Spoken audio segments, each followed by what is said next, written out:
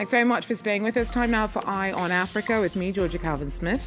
Tonight, Burkina Faso's take to the streets in support of the military junta that removed President Kaboré a day earlier. Soldiers have suspended the constitution and say the ousted leader is safe, but haven't given details of his whereabouts. Also, the head of the Confederation of African Football blames the fatal crush at the Africa Cup of Nations game on an inexplicably closed gate. Tuesday's games go ahead with players wearing black armbands and a minute silence held before matches. And Zimbabwe's main opposition leader, Nelson Chamisa, launches a new party. The change means that he's made a definite break with the movement for democratic change, which has long been a powerhouse for the political opposition. But first, hundreds of people marched in Ouagadougou on Tuesday in support for the soldiers who ousted President Roch Marc Kaboré a day earlier. The juntas closed borders, brought in a curfew, and dissolved parliament and the government. It said that Kaboré is safe, but haven't said where he is. The coup followed months of growing frustration over the handling of a jihadist insurgency. Our correspondents report. Swarms of people celebrated in the street and packed out the Place de la Nation the day after Burkina Faso's president, Roch Marc Kaboré, fell in a military coup. Ouagadougou's roads were blocked as people marched, brandished photos, and blew their vuvuzelas in support of the military putschists. I came here this morning to support the putsch. We expect the military to deal with the corruption in the country. We want to tell the president that we don't want a transition of six months, one year, two years, three years, or six years. We want a transition that must bring the state of the country back to normal.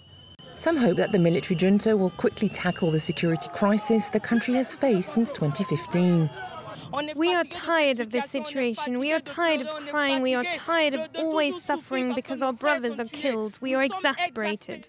Placards bearing anti France slogans, the Malian flag, and even pro Russian chants. After the fall of President Kaboré and with jihadis gaining ground in the country, some Burkina Burkinabés want to see a radical change to their country's current international partners.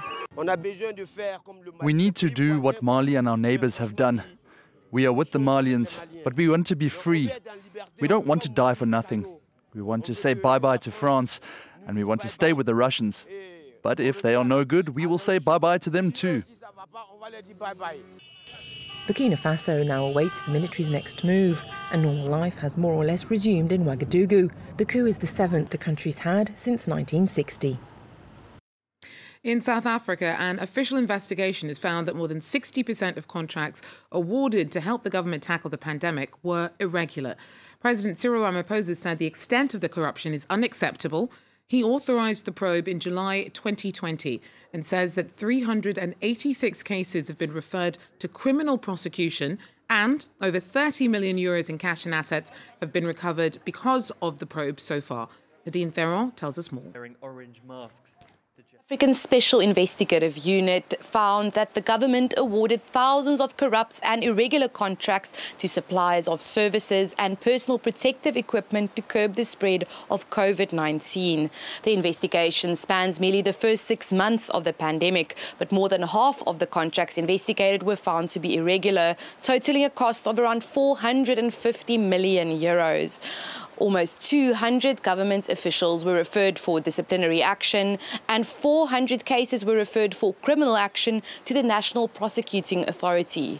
The South African health sector has been fraught with allegations of corruption since the start of the pandemic. One of the Special Investigative Unit's key witnesses, Babita Deokaran, was assassinated in front of her house last year. The former chief financial officer of the Gauteng Department of Health supplied the investigators with crucial evidence in into a fraudulent COVID 19 contract worth 20 million euros before her death. The former Minister of Health, Zweli Mkhize, resigned in August last year after the investigative unit found that he personally benefited from a contract awarded to create a communications campaign around COVID 19. However, the report did not recommend that Mkhize be criminally prosecuted. South African President Cyril Ramaphosa says he trusts that the National Prosecuting Authority will exercise its discretion quickly and diligently. Nadine Theron there for us. Now, Zimbabwe's main opposition leader, Nelson Chamisa, has launched a new party, the Citizens Coalition for Change. It means he's no longer with the main opposition party, the Movement for Democratic Change. Now, it was once a potent opposition movement, but has split several times over the last few years because of internal power struggles. Ryan Truscott tells us more about the, what the launch of this new party means for opposition politics in the country. It's a, a major change in the political landscape. Next year, there are going to be presidential and parliamentary elections, and for the first time in 23 years, the movement, movement for democratic change will no longer be the main opposition party on the ballot papers.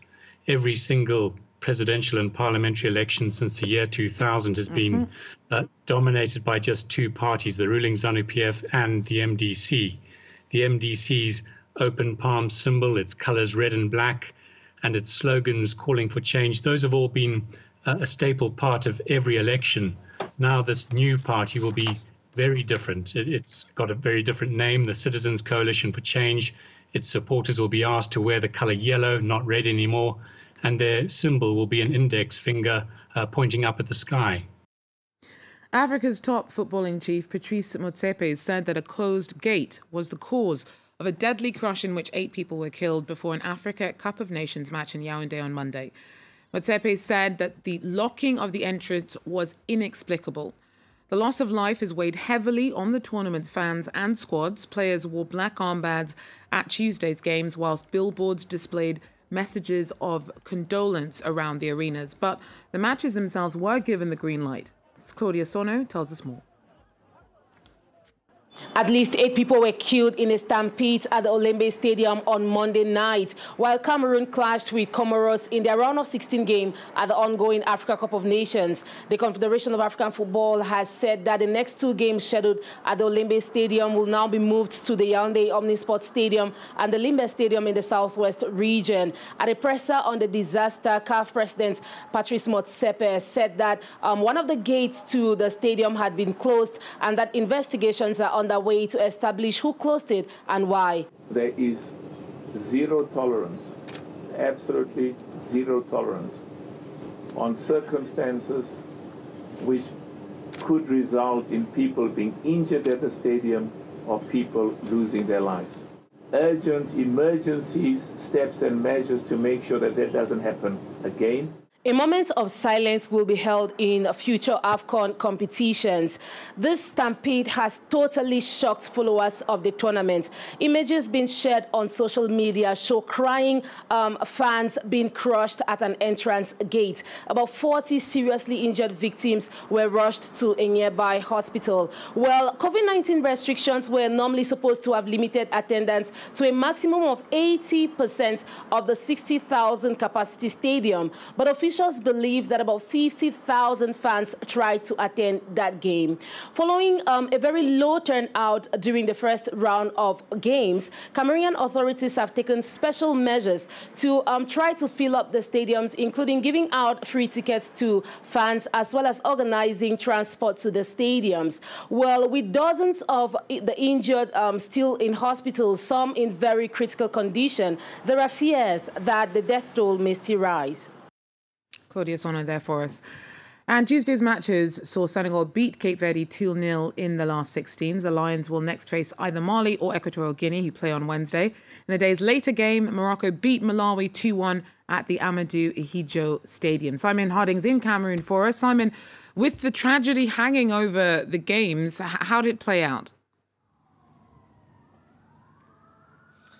It is true that the tragedy and the events at the Olembe hung uh, like a black cloud over the games, a moment of silence observed by players in both matches uh, to remember the victims of what happened. But once the ball was kicked and kickoff was taken, it was all uh, back to normal in uh, the last 16 and uh, for a place trying to book a place in the quarterfinals.